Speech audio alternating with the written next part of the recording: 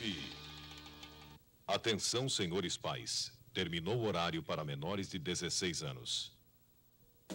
Shampoos Vanessa, que devolvem a beleza original dos seus cabelos, trazem uma nova emoção. Você vai assistir Gaivotas. Aquela avareza maldita me fez perder metade da minha vida. Pois trate de recuperar o tempo perdido, Júlio. Ainda há tempo. Eu vou recuperar. E com juros altos. Hoje, na hora de jantar, também tem uma, uma comunicação muito importante a fazer a todos vocês. Sobre o quê? No jantar você fica sabendo.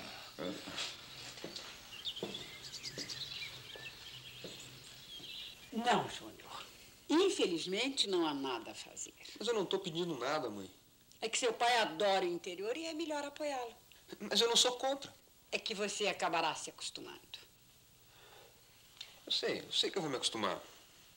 Eu acho o interior um barato, sabe? Eu tô cansado de viver emparedado. Meu negócio é espaço. Não adianta não, Verônica. Não adianta o quê? Tentar jogar o Júnior contra Ida para Barretos.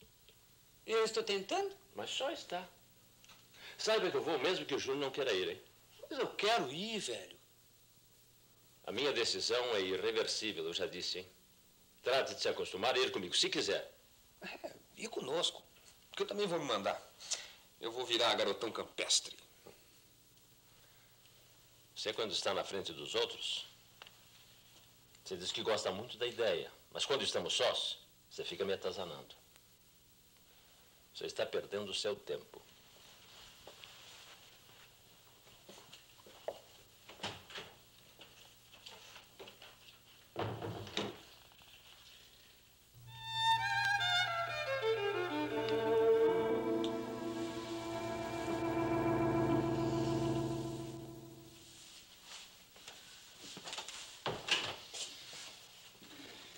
Queria dizer a vocês duas, minhas queridas filhas, que eu e Maria Emília vamos nos casar. Eu já sabia, pai. É, mas eu queria participar oficialmente, em particular, as minhas queridas filhas. Hum?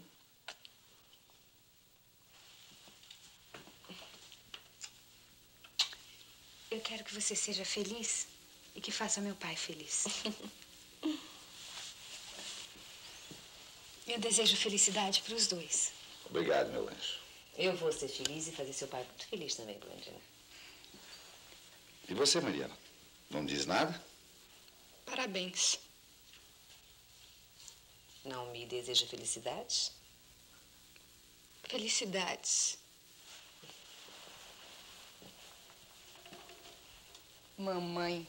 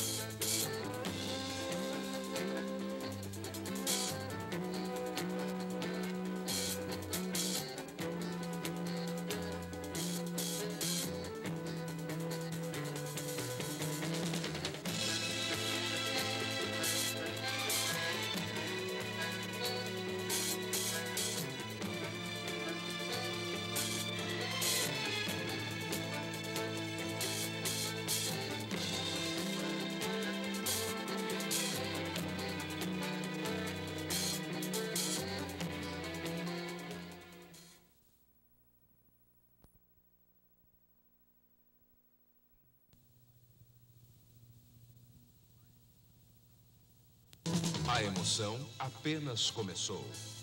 Shampoo Vaness traz mais para você. Voltamos a apresentar Gaivotas. Não, eu não pretendo substituir sua mãe. Apenas eu gostaria que fôssemos amigas. Isso é o que veremos. É. Você verá. Nós todos seremos bons amigos. É? você vai casar logo? Assim que voltarmos a São Paulo, minha filha. Não, Daniel, assim que voltarmos, não. Por que não? É que, no caso de mulher viúva, a lei manda que se espere alguns meses. Ah, é verdade, eu tinha me esquecido. Até lá muita coisa pode acontecer. Nada vai acontecer, meu anjo. Você está aflito, não é, pai? Claro. Esperou tantos anos. Onde ouviu isso, minha filha? Não sei, pai. Por aí. Não repita maldades, Mariana. Pretende morar no solar? Não, não, eu pretendo ficar bem longe de tudo isso aqui. Como vão os preparativos para o casamento, Blandina? Vão indo bem, pai. Blandina, você quer que eu ajude você a se vestir amanhã? Quero sim. Mas isso não cabe a tia Raquel, que ficou no lugar de mamãe? Mas eu também posso ajudar. Eu ficarei muito feliz com isso, Marimília. Pode contar comigo. Mário foi a Vinhedo? Foi, ele foi buscar uma gravata prateada e um sapato preto. Eu já telefonei para minha secretária para providenciar os passaportes, viu? Oh, mas que bom! É, vão viajar para onde? Para os Estados Unidos. O Mário vai fazer um curso lá, em Princeton. É o sonho da vida dele.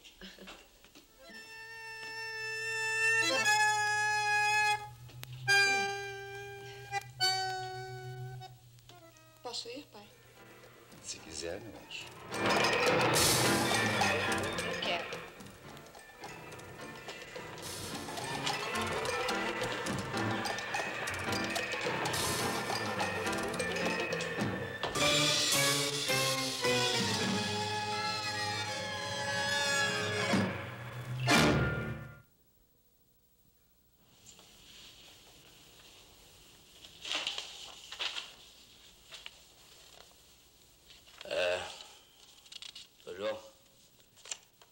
depoimento aqui também não tem novidade nenhuma. Nem este. Não acrescenta nada ao que já sabemos. Será que essa turma de gaivotas levou a gente da conversa? É o que parece, Cícero. Ah. E... E agora? Fizemos o que tínhamos que fazer. Esgotamos todos os recursos policiais disponíveis. Nada mais resta fazer por enquanto. O senhor, o senhor pretende encerrar o caso? É o que aconselha o bom senso, Cícero. Mas, é, e Doridalina? Parece que estava fingindo de louca. Fingindo? É, isso mesmo. Fingindo. Ah, mas se ela estava fingindo é porque é um pouco louca. Mas ela se defendeu, afirmando que de médico e louco todos nós temos um pouco. Mas, No que ela não deixa de ter uma certa razão. ah, doutor, mas ela, ela fingiu para quê? Para defender as suas queridas e adoradas gaivotas. Principalmente uma. Qual? Daniel, a quem considera o filho que não teve. Em que ninho de malucos viemos cair, hein, doutor João?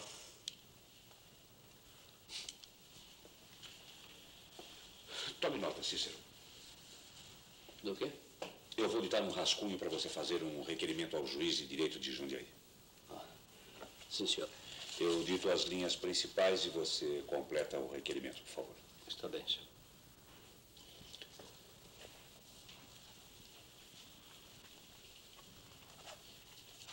Concluídas as diligências legais que o presente caso requeria.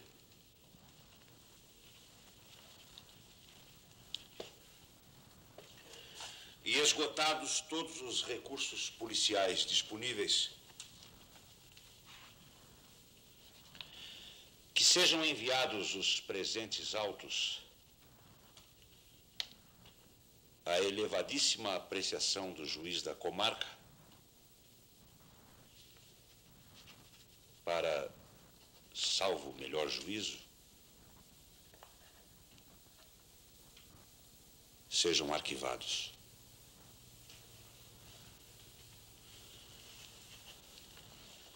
Pronto? Arquivados. Pronto, doutor. Prepare o requerimento para assinar Sim, senhor.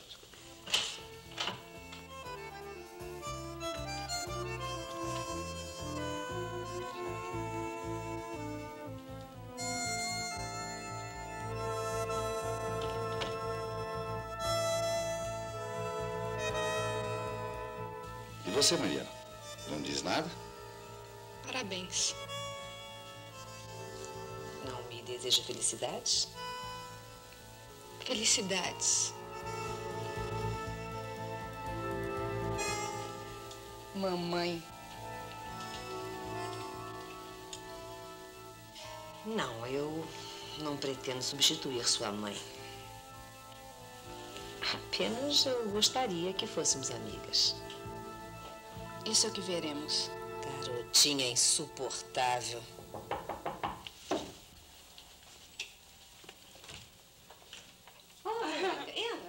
Obrigada.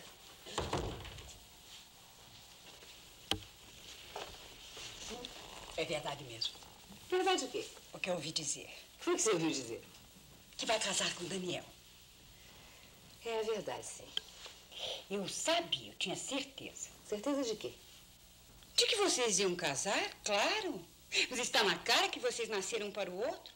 Um amor que resistiu 30 anos é maravilhoso. Mas por que essa tristeza? Você vai ficar riquíssima. Eu não me caso por causa de dinheiro, Verônica. Claro que não. Mas Eu vai ficar. Sempre amei Daniel. Eu sei, eu sei, todo mundo sabe. Mas o melhor você não está sabendo. O que, que eu não estou sabendo? Rubens, que é um grande executivo, vai trabalhar numa belíssima fazenda de Daniel em Barretos. Mas que bom, Verônica. Eu adoro fazenda. E eu vou ter muito prazer em receber você lá. Quem sabe um dia eu não apareço por lá. Claro que vai. Depois eu pretendo levar um decorador de São Paulo. Eu quero deixar a casa um brinco para receber você. Meu bem, não frequente só Paris, Roma e Londres. Frequente também Barretos, né? eu vou pensar. Uhum. Sabe, Rubens disse que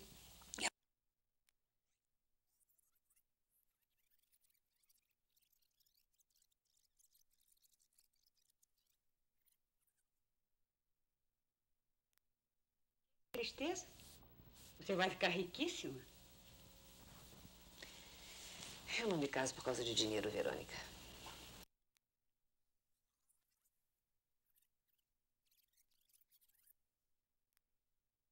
De que vocês iam casar, claro. Mas está na cara que vocês nasceram um para o outro. Um amor que resistiu 30 anos é maravilhoso.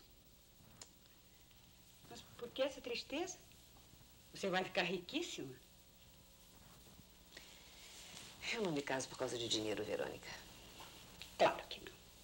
Mas Eu vai ficar. Sempre amei Daniel. Eu sei, eu sei, todo mundo sabe. Mas o melhor você não está sabendo. O que, que eu não estou sabendo?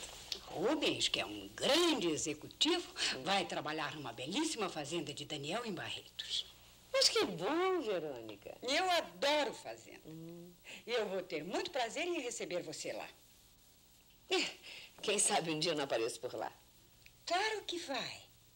Depois eu pretendo levar um decorador de São Paulo. Eu quero deixar a casa um brinco para receber você. Meu bem, não frequente só Paris, Roma e Londres.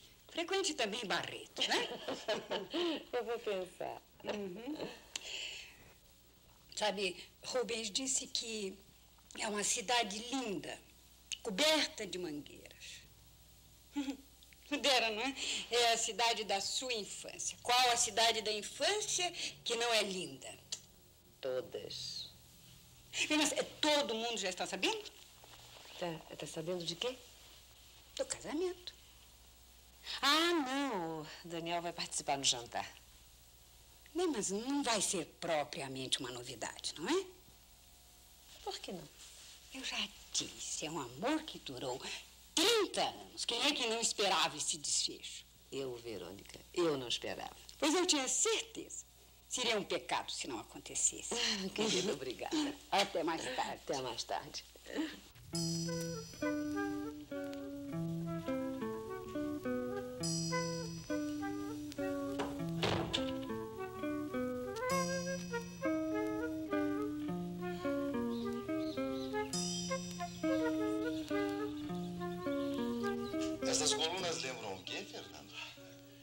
Lembram os clássicos gregos. Ou melhor, os palcos onde eram representadas as grandes tragédias gregas. E lembram por quê? Porque as tragédias eram representadas quase sempre diante de grandes palácios, não é? Seus personagens eram reis, rainhas. Bem, mas não é por isso que você gosta tanto das tragédias gregas, não é? Não, gosto sobretudo porque elas, elas retrataram com maestria os, os grandes sentimentos humanos. E depois atravessaram séculos e séculos. Olha, sabe que elas são, elas são 500 anos mais velhas que a Igreja Católica? Não é? Já pensou nisso, Daniel? É extraordinário mesmo. Elas provam que a arte é eterna. Isso significa que vamos estrear nosso teatro com uma tragédia grega, Fernando? Não. Mas por que não? Eu financio. Eu sei, eu sei, Daniel, mas aqui é que eu gostaria de inaugurar o nosso teatro com, com um dos meus maiores sonhos. E qual é? O Pato Selvagem de Ibsen. Nunca assisti. Linda. É a peça mais profunda de Ibsen. E eu, é evidente, eu faria o personagem Yalmar, que é um poeta frustrado, leviano, sentimental, suficiente. Sabe um daqueles tipos da, da humanidade fraca e miserável que não podem viver sem a mentira? Sem a mentira? É. É, no, no, no final da peça, o grande vencedor é a mentira vital, sem a qual os homens não podem viver. Como assim? E Almar prova que as pessoas, as pessoas que vivem atoladas no lodo, devem permanecer no lodo, porque é um crime tirá-las de lá. É. Existem pessoas que não podem mesmo conhecer a verdade. Não, diz ele. Deixemos a ilusão para as almas fracas, porque elas são, elas são incapazes de suportar a luz. Somente a ilusão as torna felizes. Para que ver o mundo tal qual ele é? Não, é preferível, é preferível viver atolado no lodo e não reaparecer nunca à superfície. E é uma peça de montagem muito cara, Fernando? Não, quer dizer, não para você, né, Daniel? São pouco mais de 20 atores, né? Agora, tem uma coisa, são 20 excelentes atores. Pois então está resolvido, Fernando. Será o Pato Selvagem de Ibsen. Oh, que maravilha! E eu serei um Ialmar inesquecível, hein? Há 20 anos que eu espero por isso, Daniel. Você imaginou? Ah!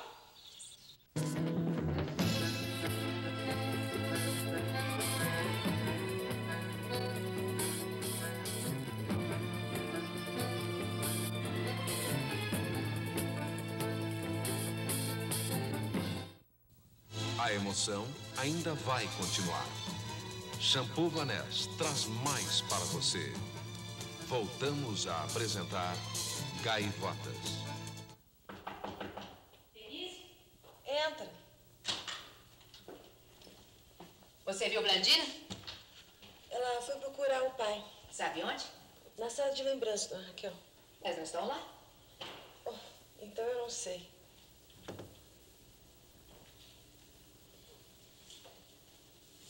O que foi, Denise?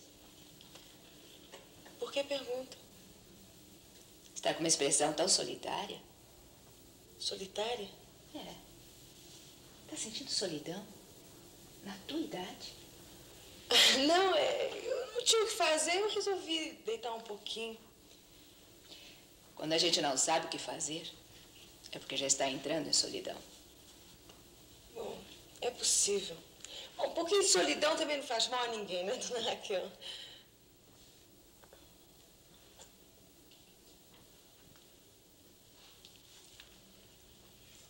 Será que você vai ser uma das escolhidas? Escolhida como?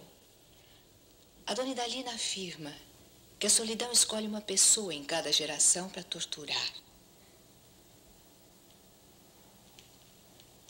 Acho que você vai ser uma delas. Imagina, Raquel, eu, hein? Eu vou aproveitar minha vida até virar bagaço. Isso não impede que sinta solidão. Não? Então não, não há meio de se defender dela?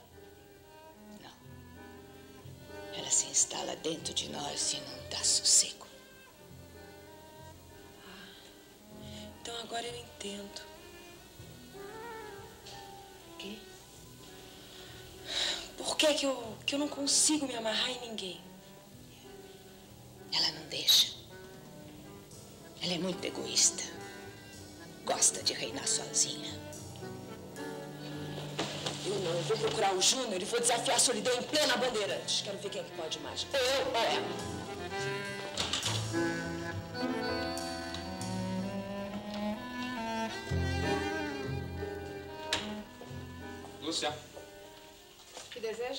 Hum, o que, é isso? Que deseja? Isso mesmo, que deseja. Vamos dar uma voltinha na Bandeirantes na boca da noite? Não posso. O que aconteceu? Nada, por quê? Você está enjeitando a moto? Não me interessa. Não interessa, Lúcia. O cavalo preto de São Jorge. Nem o cavalo preto, nem o cavalo branco. Eu estou cheia de dragão. Vem cá, vem Não me encosta a mão. Quê?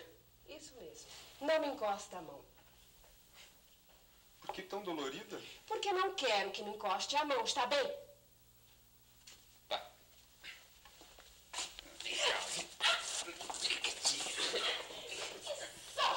Ô, Lúcia. Seu fedelho atrevido, eu disse que não queria que me encostasse a mão. O que está acontecendo com você? Nada. Apenas não quero que me encoste a mão nunca mais, ouviu? Oi, Júnior. Oi.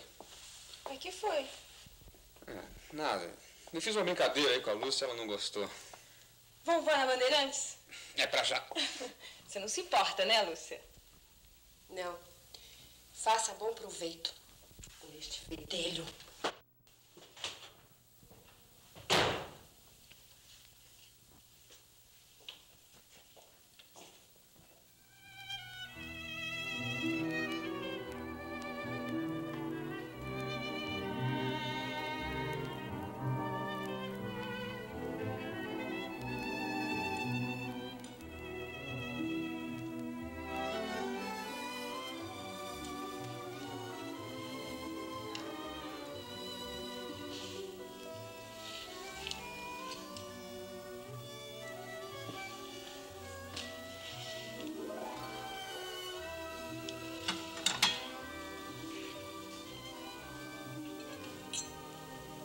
Não, eu não aguento mais, Lúcia.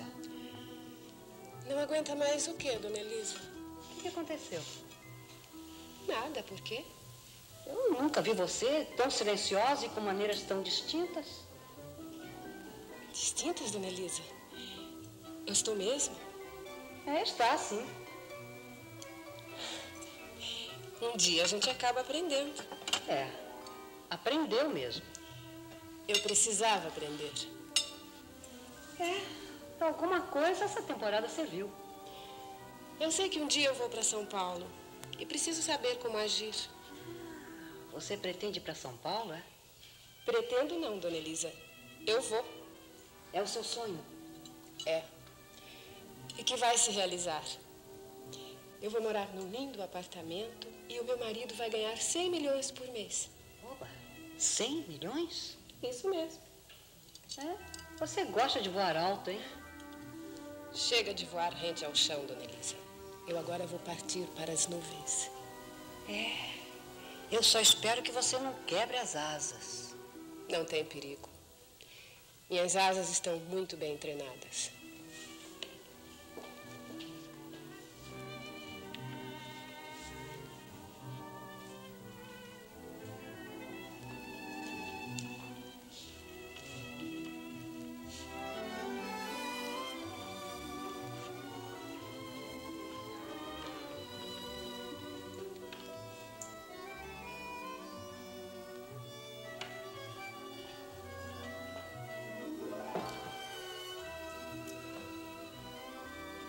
Boa noite, Lídia. É você, Débora. Como está, bem?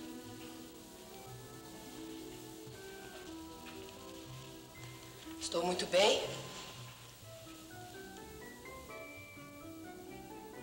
O que é que você está lendo aí com tanto interesse? livros de crochê que a Elisa me emprestou. Pensei que você se interessasse por crochê, Lídia. Vou me interessar. Ainda bem, não é?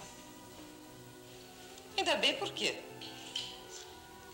Porque trabalho de velha é crochê. Mas você não é velha, Lídia. Sou. Uma velha jovem. É isso aí. Você sempre será jovem, Lídia. Você está sendo amável. Você não acha que é necessária uma grande sabedoria para saber a hora de se aposentar? Claro. Eu tive essa sabedoria. Estou em paz comigo mesma. Eu te admiro muito, sabe? Obrigada. É verdade o que andam dizendo por aí? O que andam dizendo por aí? Que você vai se casar com o Júlio. É verdade. Você gosta dele? Gosto. Júlio é um bom homem. E principalmente ele gosta muito de você. Parece gostar mesmo. Eu acho que deve ser assim. Assim como? As mulheres devem se casar com homens apaixonados. Se veja comigo, dois dos meus maridos me amavam, me tratavam como uma rainha, faziam loucuras por mim. Os outros dois que eu amei fizeram da minha vida um inferno, me martirizaram, me crucificaram. Coitado, um deles perdeu a virilidade, sofreu como um cão. Eu acho que ele pagou tudo que me fez antes de morrer. Você é ótima, sabe? Sabe o que a minha filha me disse? Que eu vou ser a velhinha mais linda do mundo. Amor, a minha filha, né? Ela tem razão. Você vai ser a velha mais jovem do mundo. Você sabe que Angela está grávida? Ela está grávida? É, de Frei Alberto. Dizer, ninguém precisa se chocar. Eles se amam há mais de 30 anos. Agora ele vai pedir licença dos votos, vai se casar com ela. Quer dizer, vai abandonar a o hábito. Veja o rosto de Ângela quando entrar no living. Brilha mais do que mil estrelas. Carlos tem razão. O quê? Este solar tem mesmo um sortilégio.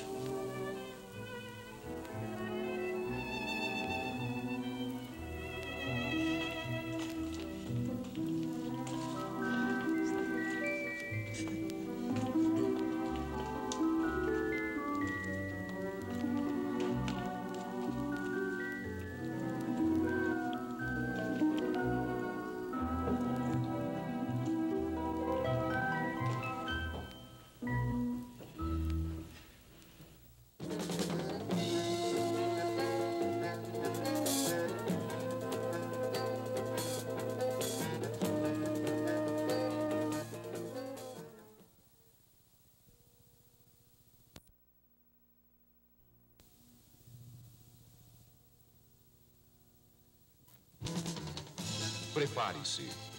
O shampoo Vaness ainda vai mostrar mais emoções. Voltamos a apresentar Gaivotas. É,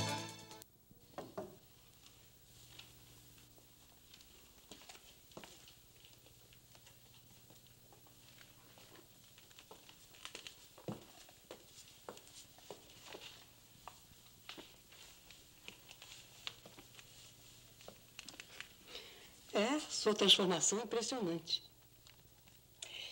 Eu sou mais inteligente do que a senhora pensa, dona Elisa. Está parecendo mesmo. Eu disse que um dia sairia daquela colônia. E vou sair. Por que, que você tem tanta certeza, Lúcia? Porque tenho. E sabe do que mais, dona Elisa? Sim. Um dia eu ainda vou ficar hospedada neste solar.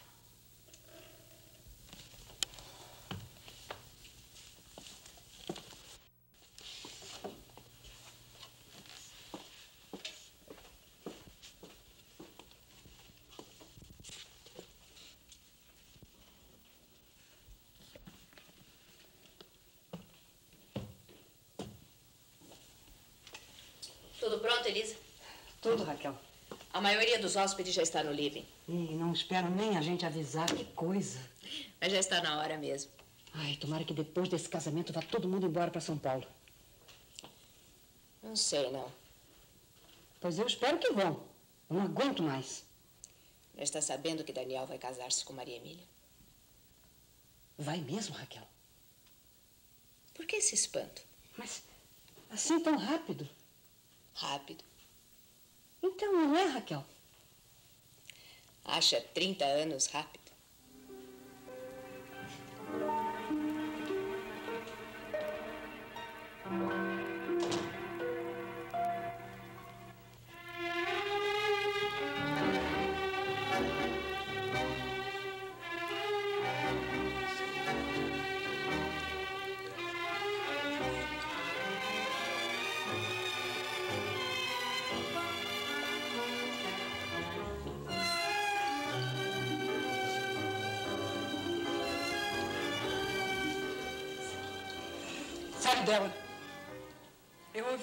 Que vamos ter duas participações muito importantes. Antes do jantar? É. Veja, Maria Emília e Daniel. Estão radiantes. A batalha que durou 30 anos. É.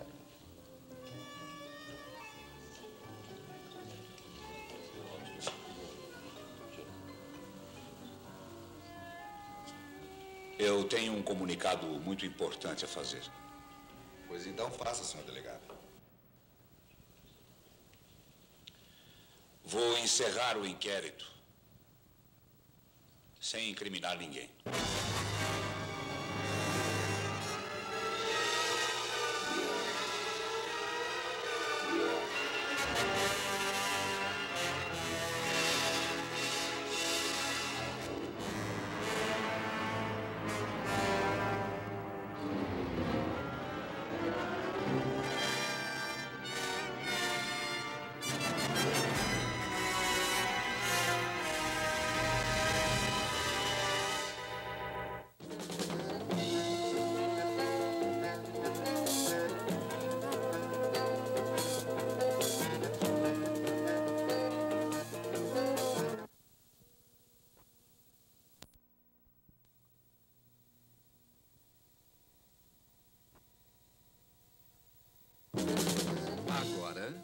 Cenas do próximo capítulo de Gaivotas. Que isso? Da janela. Não, não, não, não. Você fez muito mal, Beatriz. Aprisionou seus colegas neste retrato durante 30 anos. Agora, eu quero que você descanse em paz. E deixe que os seus colegas também possam viver em paz.